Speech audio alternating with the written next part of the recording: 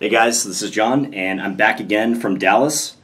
And one round is in the books at the UT Dallas Fall FIDE Open. And in the first round, I got paired up to Grandmaster Samuel Sevian, who's one of the most promising young players in the country, um, if not the world.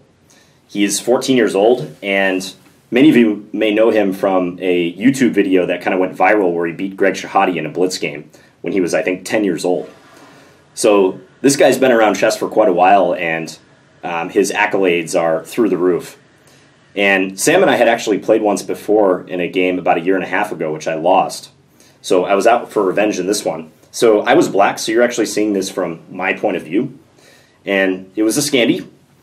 I know you guys would be very happy to see that opening, and I also wanted to play it against against him and see how uh, he reacted. Last time I played him, I played e5, and we had a very theoretical Ruy Lopez where he kind of ground me down. So not today. We're starting uh, the tournament on the right foot and playing the Scandi in round one. So he took the pawn, I took the queen. He played knight c3, and I went queen d8. And he played d4. I played knight f6, and now bishop c4. So uh, those of you who follow my channel will know that I've had this position quite a bit from the black side, and the move a6 is a nice move for black that I've uh, played many times in the past. In particular, some of the chess rivals games that I played against Danny Rensch have reached this position. And the idea for black is to go b5, kick the bishop, and then quickly follow with c5 and try to overwhelm white on the queen side. So I like this line because it kind of runs contrary to what happens in the Scandi in some of the other lines, like queen a5 on move 3 and lines like that. Um, you don't often see black really pushing white around on this wing at least not until the middle game. But with a6, black immediately puts white on notice that b5 is coming. So some players do play a4 here to stop b5, although this move is not good because it kind of weakens the b4 square. Black can play knight c6, and often the knight will get in here. So Sevian just played knight f3, he just developed, and I went ahead and played b5. He played bishop b3. And now here's the idea for black, which I think caught Sevian by surprise a little bit. After the game, he admitted that he wasn't sure what to do against this line. So I played c5. And this does sacrifice a pawn temporarily for black. However, if white takes it, and we get an exchange on d1, regardless of how white takes back, let's say they even take with the knight so as to keep kingside castling open, uh, black will regain this pawn. This is only temporarily uh, an issue, but black will play e6, and if white defends the pawn by like bishop e3, Black always has moves like knight e4 to double attack c5 with the knight and the bishop, or knight fd7. And white cannot look forward to keeping this. And I found that this bishop on b3 is often just a bad piece in this line. So Sevian understood that immediately, and hence he did not take on c5, and instead played a very dynamic move. So after uh, c5 was played, he played a4. So looking to fight back on the queen side a little bit, and giving me a decision whether to play b4 or c4. c4 looks tempting at first to try to shut out this light square bishop, but after bishop a2, I think the position of the black pawns on the queen side is untenable. Uh, I believe that white will eventually break up those pawns, and I'm overextended, is the gist of this position. So I played b4 instead, kicking his knight. He played knight e2, and now I played e6. So I am behind in development here. You notice that I only have one piece out. It's my knight on f6. Uh, but I gain some space on the queen side, and as long as these pawns don't become weak, and as long as white can't generate an immediate attack, I gotta believe that black is okay here. So after e6, Sevian castled. I played knight c6. Now I want to bring my pieces into the game, try to catch up on development. And here, I think he played a move that uh, was a little optimistic. And I was uh, surprised after the game. He, he mentioned this moment and he said that after his next move, he felt like he was fighting for a draw for the rest of the game. And bear in mind, this is only move 11, and he's the grandmaster with the white pieces. So I was surprised to hear him say that. Uh, but I, I like that objectivity by him. That kind of shows you how willing top players are to criticize their own moves. He didn't try to defend this move in the postmortem. He just he said, "Yeah, this was just flat out bad." So he played bishop g5, and flat out bad is maybe an exaggeration on my part, but I don't believe the bishop belongs here. I was expecting bishop e3. I really thought he would play this move to uh, not only reinforce d4, but also just to threaten to take on c5. It's debatable like how big of a threat this is because kind of like the variations earlier, Um, in the event of a capture here, black always could try to regain the pawn with moves like knight e4, maybe after a queen trade, like knight e4 or knight d7. So it's possible, had Sevian played bishop e3, I would have just played a developing move like bishop e7, maybe bishop b7, but uh, probably this because I want to prepare castling short. But nevertheless, the point stands that he should have played uh, the bishop to e3 rather than, as he did in the game, bishop g5. So after bishop g5, I just played bishop e7, and he played queen d3, so developing the queen and also connecting the rooks. This could be a prelude to a move like rook a d1, which he plays very soon. So I castled. Um, you notice that I'm keeping the bishop on c8. Often in this line, the bishop will go to b7. The reason I was doing that was to discourage white from setting up sacrifices on e6. I really didn't want white to go after this pawn. So let's say hypothetically I play bishop b7. I thought that this could be an issue in a lot of lines. And say black were to castle here, then a move like bishop takes e6. And if I take back, knight takes, and there's a fork on the queen and the rook. Uh, this is just kind of a fantasy variation. It may not even work for white because of moves like knight takes d4 before the sacrifice occurs. But that's just kind of a glimpse into what I was thinking in terms of this bishop. Whereas I felt like bishop e7 was kind of a mandatory move. I really want to get that piece out in castle. Maybe my bishop would be better off like on c8 or even on d7 later. So I might as well keep this pawn protected. So so here I castled. Uh, black uh, white played rook a d1, and white's entirely coordinated now. They're pretty well developed but they don't really have too many objects for attack because my structure is so solid. And here I played knight a5, going after this light square bishop. And naturally, white wants to keep the bishop pair and um, disallow an exchange. So I thought he might play just bishop a2 right away, but he actually played knight e5, which gives me th something to think about in terms of the c6 square. So I didn't want to take here yet because I felt like if I take, he would take with the queen uh, or possibly even play knight c6 right away. That's an interesting move too, with the fork on the queen and the bishop. And after my queen moves, let's say queen e8, he can take here, check, queen takes, and maybe then recapture. And I'm behind in development, and I've lost a valuable defender of my king side. And I'm kind of in a pin right here. So after knight e5, I didn't want to capture the bishop straight away. So 95. and after this, uh, queen c7 was played. So I just got out of the way of the d file and also controlled the c6 square. And he played bishop f4, kind of tracking the movement of my queen. And I played bishop d6. In some ways, I was a little nervous to play bishop d6 because there is some tension on the d file. Um, should white ever take here, the file will be completely open. But note that white cannot do that right away because I just take on e5 and I win a piece. So I I kind of figured that the um, the pressure on the knight would be worth it to play this move, and I get to keep my queen on c7. I don't have to like move my queen or kind of hide it in the face of this bishop f4 nuisance. So bishop d6, and here Sevian played bishop a2, so disallowing the possibility of knight takes b3. And I completed my development. I played bishop b7. So I don't think there's any issue on e6 anymore. Note that the dark square bishop for white is occupying the square that the knight might want to go to to set up sacrifices here. So I felt completely comfortable playing bishop b7. And uh, a word about the time control. So the time control for this tournament is game in 90 minutes with a 30 second increment. And Sevian was using a lot of time. I have noticed he has a, a, a tendency to get in time pressure, and that definitely happened this game. So he was already burning quite a bit of his 90 minutes at this point, and towards the end of the game, he was uh, pretty far down on time, although I gave a bunch of the time back, as it turns out. So uh, after this, he played c3, so creating more tension with the pawns, and I took on c3. He took with a pawn, and here I played bishop e4, attacking the queen. I felt like I had a really good position, and moving a rook definitely came to mind. Like I thought about rook ad8 to kind of track white's queen and uh, maybe introduce bishop takes e5 ideas later using the, the d file pressure. The thing I didn't like about this move though is that it takes away a defender of a6. So if ever I want to play bishop e4 later, I might have to reckon with queen takes a6. So hence I played bishop e4 directly, attacking white's queen. And after this, he fled to d2. So queen d2. And now I played rook a d8. Rook f d8 also came to mind. This is the classic, like, which rook do you move to a certain square question. Uh, the only reason I chose rook a d8, well, there's kind of two reasons. Uh, one, I thought maybe the a8 square for this light square bishop could be useful. Like if ever I want to retreat this bishop and then play queen b7 and set up a battery like towards this g2 pawn, that is enabled by playing rook a d8.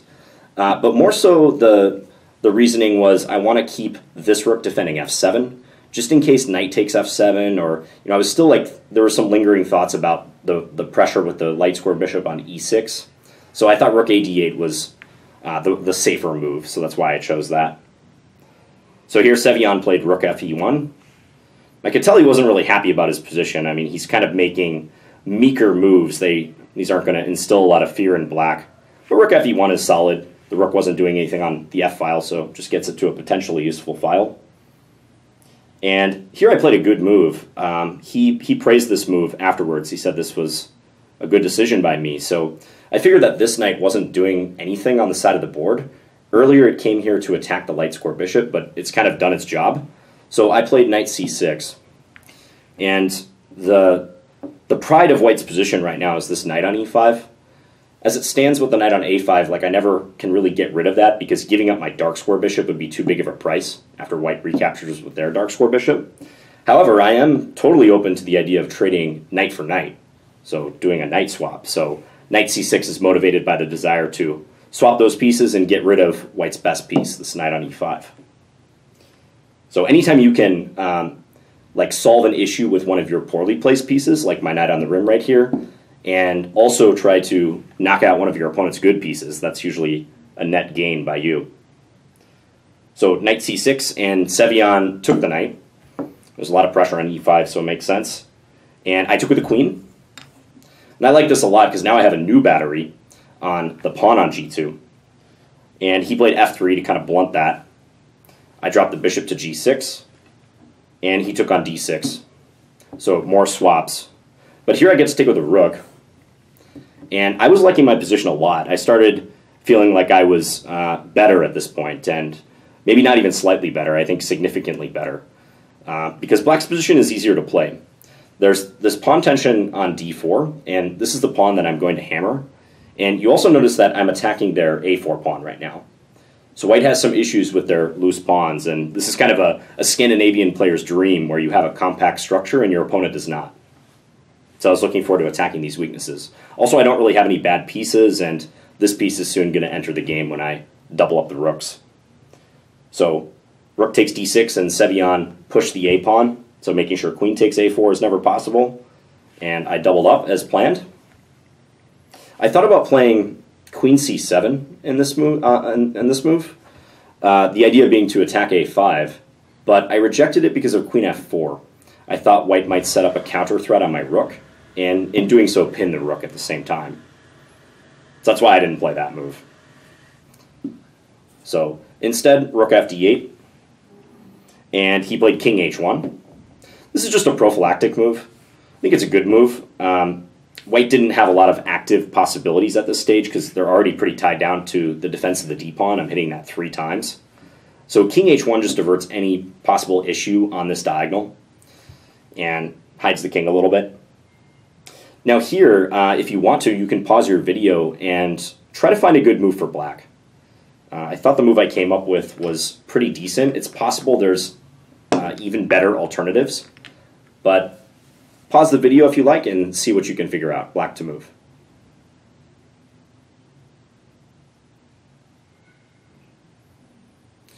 Okay, so the move I played here was e5. And I figured if I was going to win this game or try to play for a win, uh, I would want to attack either d4 or a5 in these weak pawns, as I discussed a moment ago. And e5 is a great way to bring about more pressure on this pawn. And this pawn is pinned, White cannot take either way because they would immediately lose their queen on, on d2. So I'm just trying to increase the pressure on that point. I do open White's light square bishop a bit, but the pressure on d4 is the bigger factor. Note that f7 is well guarded by my bishop, so I don't think that's an issue. Uh, the move that Sevian mentioned in the postmortem that he felt was even stronger was queen c7. So this move that I mentioned uh, a move ago, but in a slightly different form, an improved form for black. Because here queen f4 doesn't make a lick of difference. Black can just take on a5 because we've already got the rook on d8 backing up the other rook. So that was a reasonable possibility, queen c7. I actually saw this move during the game, but I rejected it because of rook a1, which looks absolutely ridiculous, but the idea is that if black takes on a5, white can respond with bishop takes e6, discovery. Uh, still, though, in Sevian's opinion, uh, it would have been it would have been worth it for me to try to draw the rook over, and actually I can still play e5 even here if I want. So probably he is correct about that. I'm going to defer to the grandmaster on that point. um, while e5 gives me an advantage, maybe I could have maximized it with queen c7 instead. So after e5, he decided to flee the file, so he played queen b2. And here I played a move to increase the pressure on d4. I played queen d7. So tripling on the d file. And this is not quite a Alekhine's gun because I don't have my queen in the back with the rooks ahead of it. The queen's right in the middle of the rooks. But now we're bringing a lot of heat down on d4. I have one, two, three, four, five attackers. I don't know how well you can see that based on the camera angle, but five attackers on d4. And he has several defenders, one, two, three, four, but not quite enough. So roundabout here, I realized I was going to win this d4 pawn. So after queen d7, Sevian played rook d2, and I took on d4 with the c pawn. He takes with his c pawn. I took with the e pawn. So one line I wanted to look at here to make sure um, I wasn't blundering in the game, because notice I still have a back rank issue. I haven't moved any of these pawns in front of my king. So I was slightly concerned at various moments in this game, like if this rook on the e file would be a big deal. So let's say hypothetically white takes here and then I take and we initiate a bunch of these trades. And fortunately for me, at the end of this line, white does not have rook e8 checkmate because of the knight. So if you saw that line, uh, kudos to you because that's one factor in my calculations that was important. Uh, not a very difficult line, but you know all those little details can can add up in the course of a game.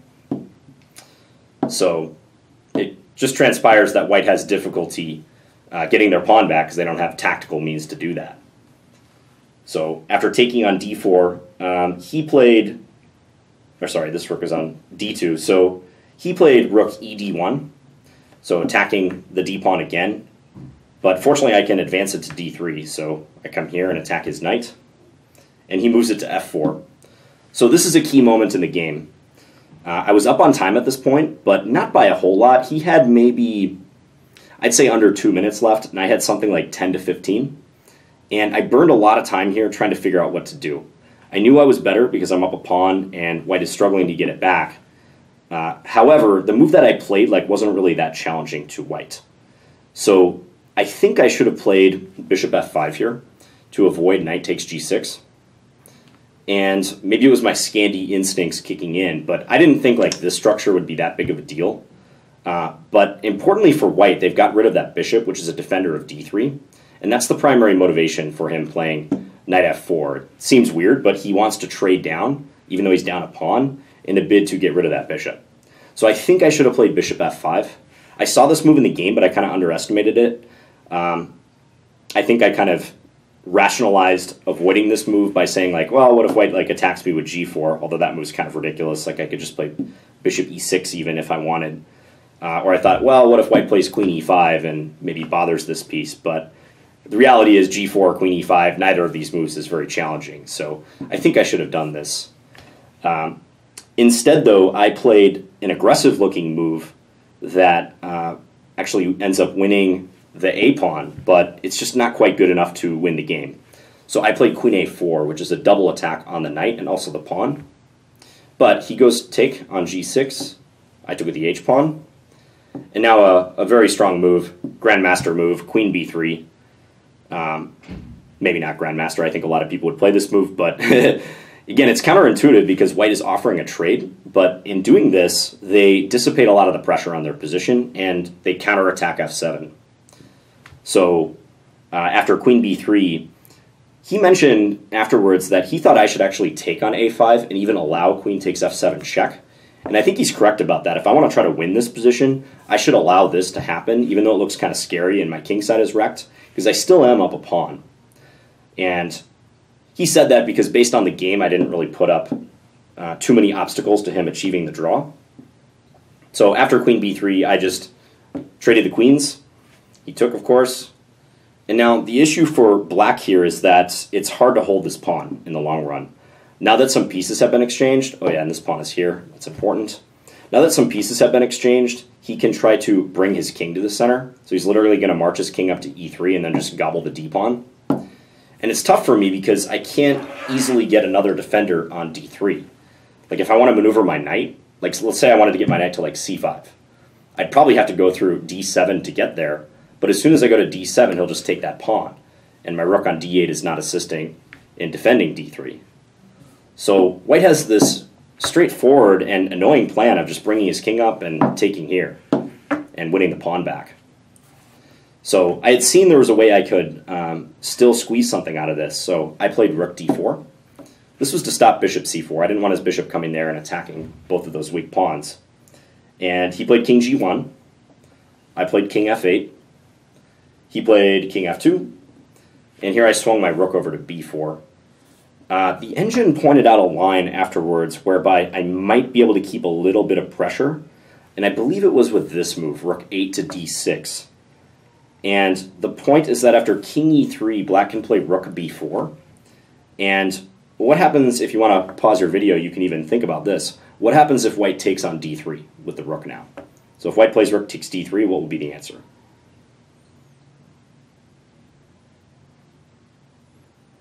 Okay, so the idea is that if rook takes d3, black has this nice shot, rook takes b3.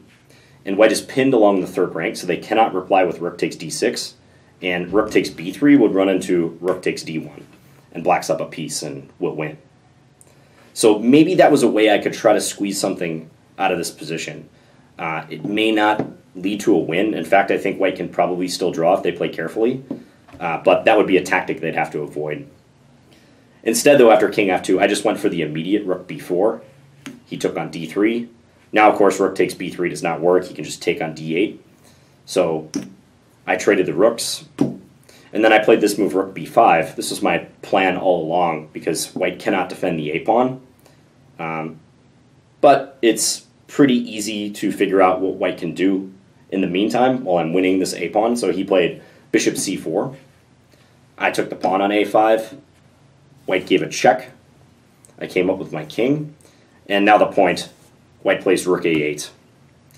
And unfortunately for me, I cannot move this pawn from the a6 square, and white's got two attackers on it. I only have one defender. My knight is too far away from the defense of that a pawn to even be a factor.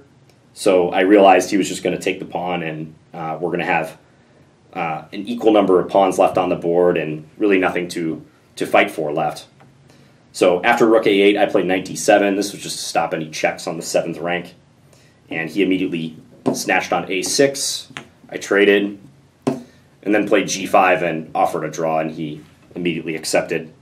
Yeah, it's just knight and three pawns versus uh, bishop and three pawns all on the same side of the board is just a dead draw. There's, it would be pointless for us to play this out. Uh, so the game ended in a draw, and in some respects, I was happy with this result because I'm black against a very strong player. Um, although I was disappointed not to make the most of my chances because I felt like I had real good opportunities to maybe play for a win after I won the pawn. But it was kind of tricky, and we were both getting into time pressure, uh, him more so than me. Um, but I think some useful takeaways from from that game, and I was happy to be able to use the Scandi on a, a high level once again. so, anyways, hope you guys enjoyed this game analysis, and I'll be back again soon. Thanks for watching, guys. Bye.